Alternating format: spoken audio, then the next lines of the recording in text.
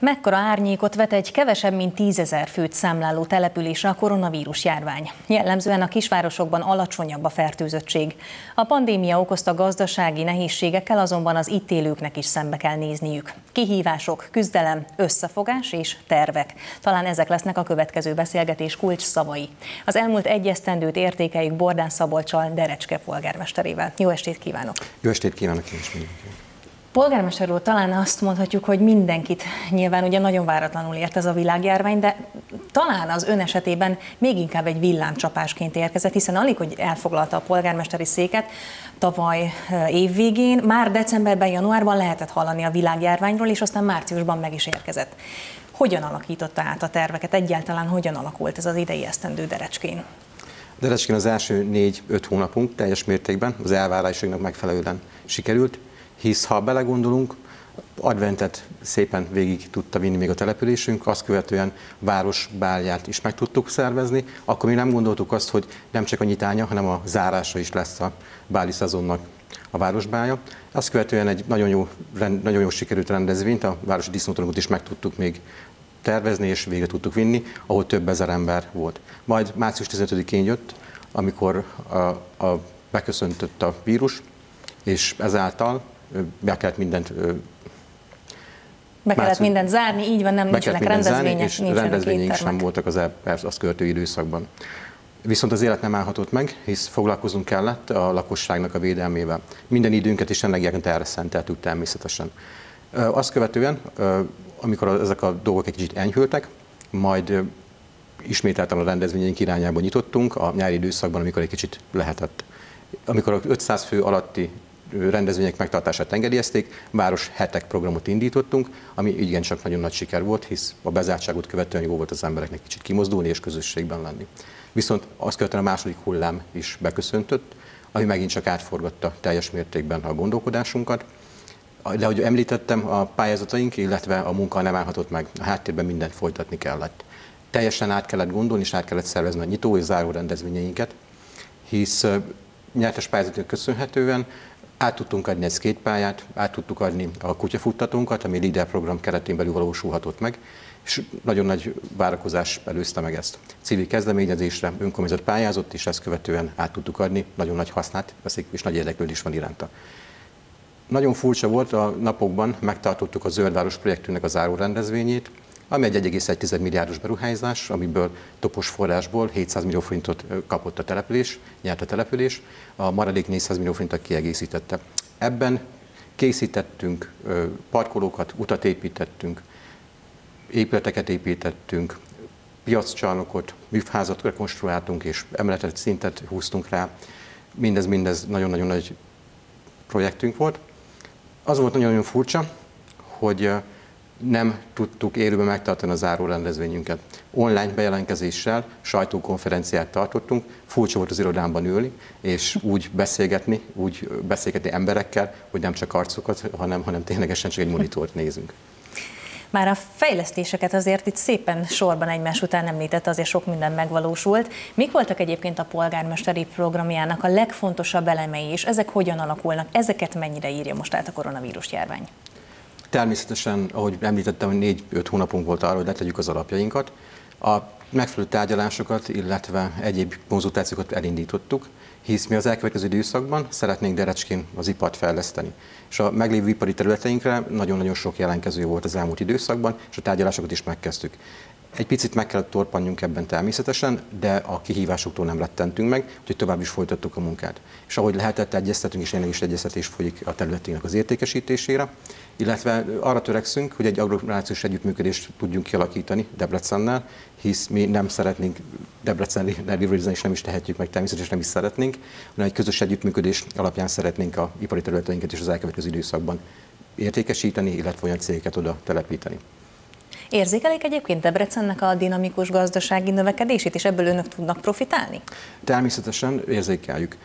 Nagyon-nagyon fontos, hogy a Derecske az elmúlt időszakban 2019-ben lett átadva az autópályánk, ami 2,5-6 kilométerre található településtől. Ezzel mondhatom azt, hogy becsatlakozott a településünk Magyarország vérkeringésébe, sőt Európa vérkeringésébe, hisz Budapest távolsága időben nagyon-nagyon csökkent. 2 óra 2 15 perc alatt minden szabály betartva fel lehet érni Budapestre. Debrecenben 15 percen belül a táblánál vagyok, bármi történjen, és talán azt mondom, hogy sokkal gyorsabban be tudunk jutni. Ma is elárulom egyébként, hogy 20 perccel ezelőtt még Derecskén voltam, és 15 perc alatt nyugodt szívebe értem a célig. Mit tapasztalnak egyébként, hogy költöznek ide Recskére családok, akik esetleg távol akarnak lenni a nagyváros zajától, de mégis közel a megyeszékhelyhez? Tapasztalható mindenféleképpen. Azt kell, hogy nézzük, hogy a, a lakosságnak a arányénak a változása, talán most már a csökkenés megállít, megállt, és az elkövetkező időszakban bízunk benne, hogy egyre jobban fog gyarapodni. Az elköltözők és az odaköltözők száma talán egy kis minimális különbséggel az odaköltözők számára borult át. Bízunk benne, hogy az elkövetkező időszakban sok lehetőséget tudunk majd nyújtani azért, hogy a Derecske település még vonzóbb és még éhetőbb képet mutasson mindenki számára. Igen, hát azért ne felejtsük el, hogy mégiscsak egy világjárvány kellős közepén vagyunk, nem feltétlenül most költözik az ember. Ugye a gazdaság mellett a másik, ami nagyon-nagyon fontos, talán a legfontosabb az az emberi egészségnek a védelme. Önöknél milyen a fertőzöttségi arány? Jelenleg az a legfrissebb információ, egy olyan fél órája kaptam az e-mailt a doktoroktól, arra kértem őket, hogy heti szinten egyszer jelezzék azt az orvosaink, hogy milyen a fertőzöttség Derecskén. A legfrissebb adatok szerint 226 fertőzött betegről tudunk, sajnos két halálos áldozat is van az elkövetkező elmúlt időszakban. Ez azt jelenti, hogy a településre mérve 3%-os környéki a fertőzöttség. Mindez az oktatási intézményeket hogyan érintette, amennyire tudom, önöknél is kellett bezárni épületeket, intézményeket? Igen, két részre bontanám ezt mindenféleképpen az első hullámra és a második hullámra. Az első hullámban, amikor megvolt a lehetőségünk, abban a pillanatban az óvodánkat, bölcsödénket bezártuk és a megfelelő intézkedésekkel home office-ban folytatódott az oktatás.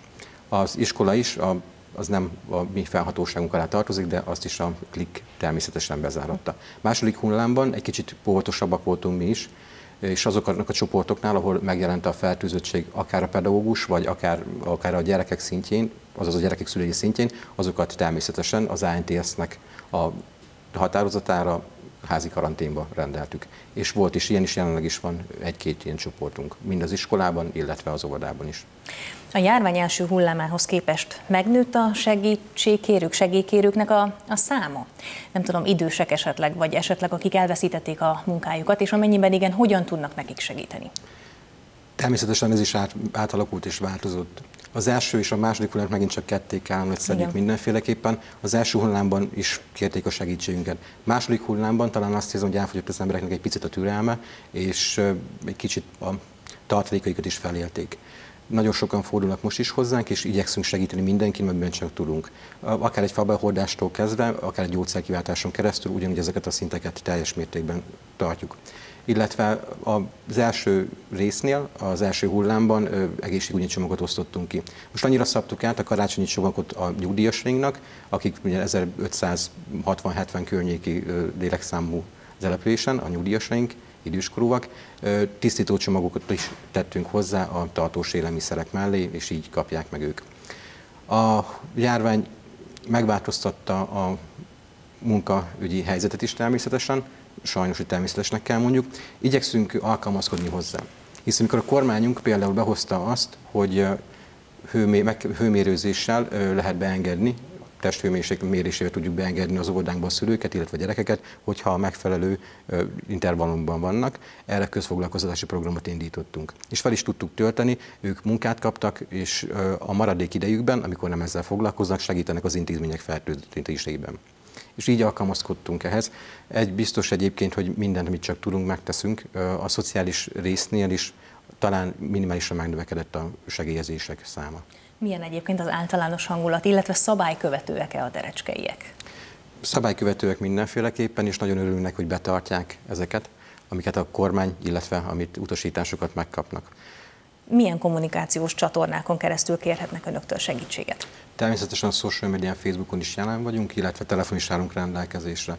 Rendhagyó módon tartjuk meg a konzultációt a testületi tagokkal is, hisz online lehetőséget biztosítunk arra, hogy akár mobiltelefonjáról vagy a laptopjáról bárki testületi tag is részt tudjon venni a döntéshozatalban. Ez csak akarat kérdése, hisz azért szenzációs a dolog, hisz Debrecenből, Derecskéről, akár Berlinből vagy New Yorkból is be lehet jelentkezni, és a konferenciára el tudja mondani azokat az érveket, amivel ő szeretné a döntéshozatalt támogatni. És akkor egy nagyon fontos kérdés a végére, milyen lesz az idei karácsony Derecskén? Egy kicsit visszahúzódottabban fogunk mi is ünnepelni, viszont létrehoztunk egy játékot, egy adventi kalendáriumot, ami az intézményeinek az ablakában felgyullad egy-egy lámpa, és egy-egy számot fognak ezek a tükrözni, és aki mindegyiket megtalálja, és beküldi számunkra, az egy értékes nyeremény sorsolásán vehet részt. Hát reméljük valóban nagyon boldog lesz az idei karácsony is. Bordán Szabolcs, nagyon szépen köszönöm a beszélgetést. Én is nagyon szépen köszönöm, és meg szeretném ragadni az hogy megköszönjem azoknak a kollégáimnak, és azoknak az embereknek, akik Derecski életét az elmúlt időszakban segítették. Gondolok itt a rendőrökre, mentősökre, pedagógusainkra, és az összes kollégámnak, és mindenkire. Köszönöm szépen is. Kedves nézőink, eddig tartott ma az esti közelkép. Köszönjük a figyelmüket viszontlátásra!